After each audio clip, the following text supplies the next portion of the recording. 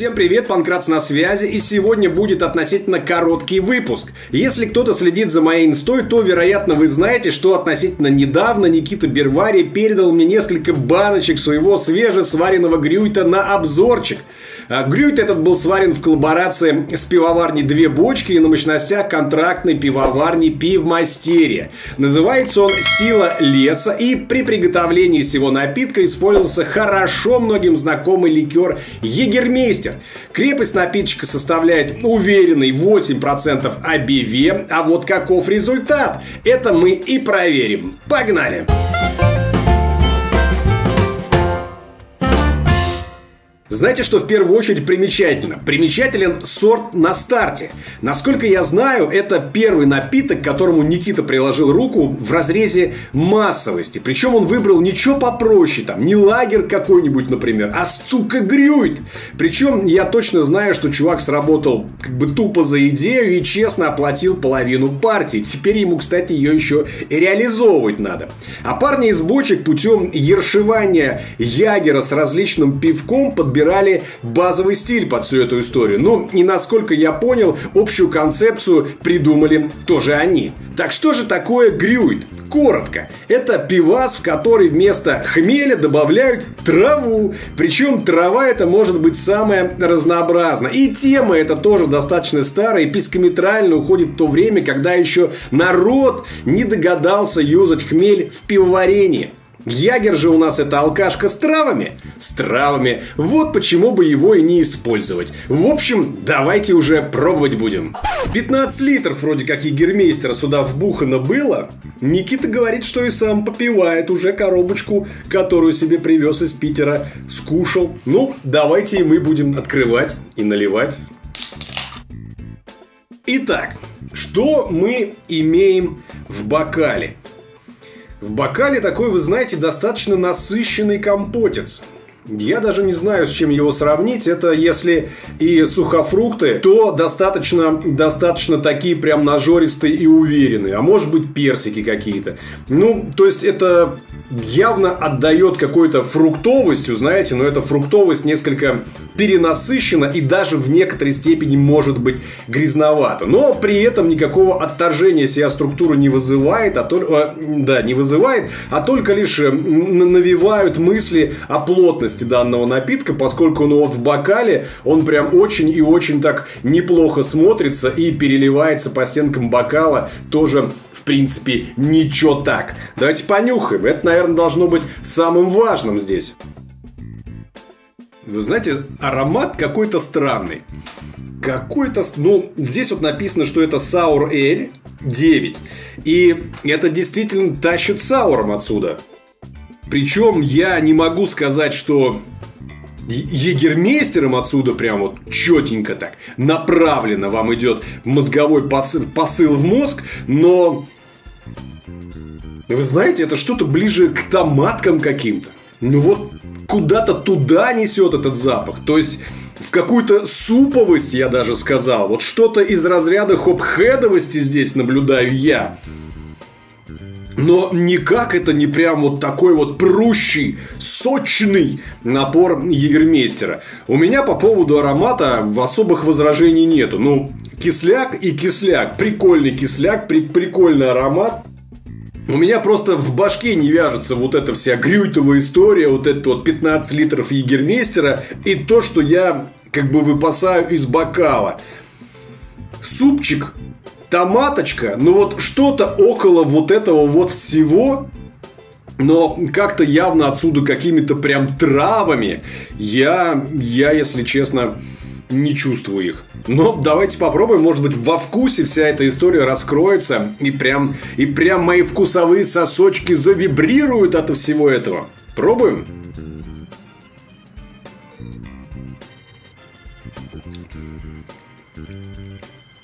М-м. А вот тут уже начинает проявляться вся эта травянистая тема, причем я даже не скажу, что конкретно ликером вот этим вот сейчас омываются мои щеки. Но кисляк, я должен вам сказать, забавный, поскольку здесь как бы два абсолютно ну, не, не соприкасающихся обычно направлений, да. И подобной вот подачи я ранее не пробовал, как мне кажется, поскольку база кисляка, она здесь в своей естественной природе спокойной, понятной, хорошей наличествует. Не могу ничего сказать против этого. Но ее вот прям вот параллельно накрывает волна такой травянистой горечи. И сочетание вот этой вот травы горькой с базовой кислостью дает достаточно интересный результат, поскольку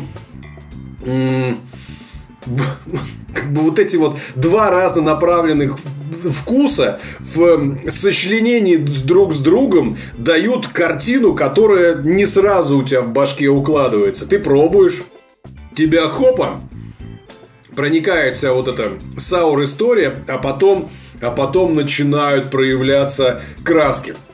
А, горькие вот эти, вяжущие, травянистые. И вы знаете, тут надо включать, как мне кажется, воображение, поскольку при желании, вот при желании и при вот соединении с теми воспоминаниями, которые вас когда-либо связывали с Егермейстером, вы можете различить его здесь тоже. Поскольку постепенно с каждым глотком горчинка вот эта проникает все глубже и глубже в организм и обволакивая гортани, все вкусовые сосочки с собой, вы вот начинаете по крупинкам, по крупинкам собирать образ егермейстера. В принципе, прикольно, мне нравится. Еще мне нравится то, что сей напиток коварен по самые яйца. Коварен он в первую очередь тем, что вы вообще не различаете его крепости. 8%, да, я вас умоляю. Это вот в базе примерно то, что мы привыкли видеть, не знаю, там, ну вот реально там в 6% вот этой вот в 6% предъявлении, которые обычно вот в супы, там, хоп-хед заклад, то там еще в эти маленькие баночки делает подобные вещи, да. Здесь 8, и эти 8, они ни разу не ощутимы.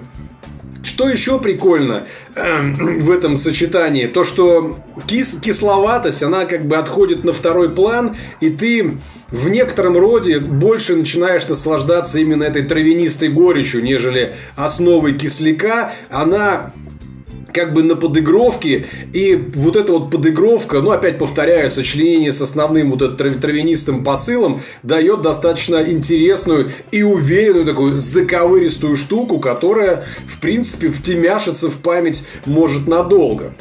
Я, на самом деле, пока мест не очень сильно разделяю опасения Никиты по поводу того, что ему будет трудно эту штуку реализовать, поскольку это действительно вкусно, действительно прикольно, действительно необычно. Просто, как он сам говорит, у него еще опыта конкретно по реализации таких больших партий не было. И хотелось бы это поставить в какие-то бары, в какие-то магазины. Поэтому, ребят, среди, среди моих подписчиков есть люди, у которых есть бары, есть магазины и так далее и тому подобное. И вы знаете, на самом деле вот эту банку ни хрена не стыдно поставить себе на прилавке, тем более если э, покупатели интересуются ютубчиками и обзорами пиваса на ютубчике, то Никиту они тоже наверняка знают. Тут как бы еще такой тоже маркетинговый ходок может сработать. Мое отношение, по сути, весьма и весьма положительно. Я не знаю, что сказать плохого про данный напиток. Поскольку, ну вот он весь такой вот со всех сторон ёкарный бабай необычный. И я точно, точно подобного ранее никогда не пробовал. И мне хочется на самом деле от чистого сердца пожелать Никите удачи и реализовать таки всю эту партию и не остановиться на вот этом вот, придумать что-нибудь еще такое эдакое закадык, заковыристое, чтобы опять, опять, так сказать, потешить себя и публику. В общем, такие дела. Если где-то увидите на прилавочках магазинов вот эту вот банку, настоятельно рекомендую купить и попробовать. Мне понравилось. Очень необычно, очень свежо в разрезе современного крафтового рыночка, да, и, и вкусно, и тупо вкусно. Поэтому дерзайте. Ну, а с вами в очередной раз был Аркадий Панкрат. Спасибо всем тем, кто досмотрел данное видео до конца. Подписывайтесь на мой канал, ставьте пальчики вверх, отмечайтесь в комментариях. Не забывайте тыкать в колокольчик, чтобы первыми узнавать о новых выпусках. Подписывайтесь также на мою группу ВКонтактике и, конечно же, Инстаграм. Там бывает чаще. До новых встреч, пока и да пребудет с вами вкусное, привкусное пиво!